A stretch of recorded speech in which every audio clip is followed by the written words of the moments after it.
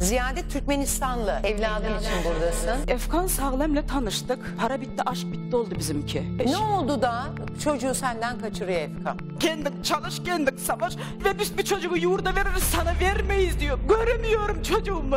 Git sen darp uyguluyor bana yardımcı olun lütfen. Her zaman geldi. Oğlumuzu gördü. Beraber oynadık. Beraber gülüştük. Beraber yemek yedik. Ziyade diyor ki şiddet gösteren, Evet. çocuğu bana göstermeyen eee, kötü bir adam. Evet. O diyor ki biz il- sağlıklı iletişim kuruyoruz. Yani hangisi? Ben seni sevdim deyip hanımını bile çağırdı bunu deydin. Doğru doğru konuşsun ne için dövüldüğümü. Efkan ikimiz birbirimizi severek evlendik. Nerelerden benim karşıma çıktı bu? İhanet iddialarına Ziyade ne cevap verecek? Evlisin. Resmiyette doğru haklısınız. Evlisin. Zaten ben kendisine bunu baştan söyledim. Efkan çocuğu Ziyade'ye teslim edecek mi? Çocuğunu ben asla ondan esirgemedim. Hani göremezsin, ben kaçırırım, oraya götürürüm, buraya götürürüm. Hiçbir zaman öyle bir kelime kullanmadım. Hem beni döv hem benim çocuğumu al sonra da beni dışarıya kov. Ben inanıyorum ki hani ben onun gözlerine baktığım zaman ne anlatmak istediğini net anlıyorum. Güllale'nin yaşananlarla ilgili çok konuşulacak kararı ne? Efkan'ı seviyordum ben. Efkan da benim yanıma geliyordu Lale. Efkan seni seviyordu. iyi kadın değil. Bizim nasıl çok güzel bir mutlu hayatımız vardı. Çocuğumuz olmadı. Ama bak çocuğumuz yoktu ama biz çok mutluyduk Lale değil mi diyordu bana. Ben seni seviyorum.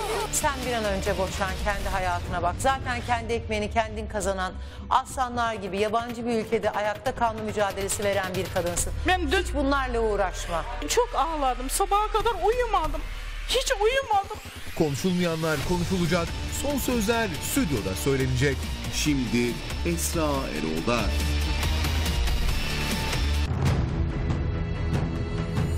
Bu iddia çok konuşulacak. Bu sözler ortalığı karıştıracak. Kayınvalidem Ayfer Dumur iki buçuk yıl önce %50 engelli eşim Zuhal Akver'i kandırarak yanına almıştır. Ben ve üç tane çocuğum çok zor durumdayız. Karımın eve dönmesini istiyorum. E- Eşimi çok seviyorum. Kayınvalidem Ayfer, iki buçuk yıldır yüzde elli zihinsel engelli karım Zuhal'i zorla alıkoydu. Üç çocuğuyla yapayalnız kalan Ramazan'ın büyük isyanı. Şimdi Esra Erol'da. Evladın için buradasın. Piyasaya karısı çıkıyor bunun. Ziyade'nin sizinle ilgili yaşadığı sıkıntılar neler? Mutlu bir beraberliğimiz vardı. Şu anda da mutlu bir ilişkimiz var. En büyük problemimiz kendisi de çok iyi biliyor. Benim geçmişteki evliliğim. İddialarınızı dile getireyim. Ziyade sinirlendiğinde agresif ve saldırgan biri oldu. Hatta benim resmi nikahlı eşim Gül Lale'ye de çok sorun yaşattı, çok eziyet etti. Aranızda sürtüşme olmuş, Lale Hanım'a çok zarar vermişsiniz. Okan'ı hanımefendiyi hep tahrik etmişsiniz, mesajlar atmışsınız. Bunu Efkan mı söyledi? Evet bunlar Efkan Bey'in iddiaları. İhanet, şiddet ve herkesi şoke edecek iddialar. Stüdyomuzda Gül Lale Sağlam var. Efkan Bey'in resmi nikahlı eşi. Efkan ikimiz birbirimizi severek evlendik. Nerelerden benim karşıma çıktı bu? Bizim nasıl çok güzel bir mutlu hayatımız vardı. İhaneti nasıl öğrendi? Efkan'ı arıyorum arıyorum açmıyor Efkan. Son gittim apartmandan giriyorum kapının önünde şöyle duruyor. Ziyade diyor ki ben sana göstereceğim ben sana göstereceğim. Karısı Güllale gözyaşları içinde isyan etti. Ziyade bana kötü kötü mesajlar yazıyor. Boşayacaksın Efkan'ı ben erkek bebek doğuracağım. Efkan'ı seviyordum ben.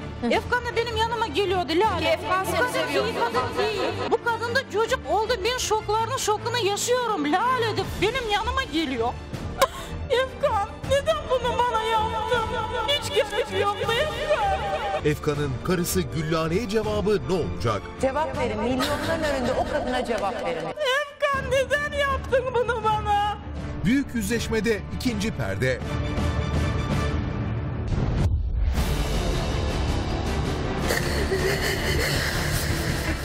22 Nisan tarihinde daha önce birliktelik yaşadığı hakkında uzaklaştırma kararı aldırdı. Halit Asil Türk kızımı zorla kaçırdı. İddiası bu yönde. Sema, Halit Asıltürk tarafından zorla mı tutuluyor? Halit Asil Türk'le telefon hattında. Kızıyla kızı bilmem nikahlı olarak da beraberdik. Kızı yanımda. Kızlarını zorla götürme gibi bir durumundayım. Çıkartın evinden gitsin babasının yanına. Şu anda benim yanımda. Babasının yanına gideceği bir durum yok. Babasının yanına gideceği bir durum yok. Sema'ya ait özel görüntüyü niçin anneye attınız? Kızının benim bilmem nikahlı olduğunu kabul etmiyor. Belli ispatı için. Beni zorla kaçırıyormuş oyununu oynayalım dedi. Aynen öyle. Siz de gittiniz kendisini zorla kaçırıyormuş oyununu oynadınız. Aynen öyle. Buna gerçekten inanarak anlatıyorsunuz yani. Ortada saplantılı, psikopatça bir ilişki var. Sema Hanım'ı verin lütfen. Yok. Kimseyle görüşmeyeceğiz. Konu kapandı. Sema Hanım'ı verin lütfen. Yok. Kimseyle görüşmeyeceğiz. Konu kapandı. Saplantılı bir şekilde Sema Badan'a aşıksınız. Bu kız sizin yanınızda baskıyla duruyor. Açıkçası Baskıyla. inandığım tek bildiğim bu. Sema Hanım'ı telefon hattına alalım. Sen o gün gerçekten kendi isteğin rızanla mı gittin? Evet, kendisine 5 ay boyunca ben mücadele ettim.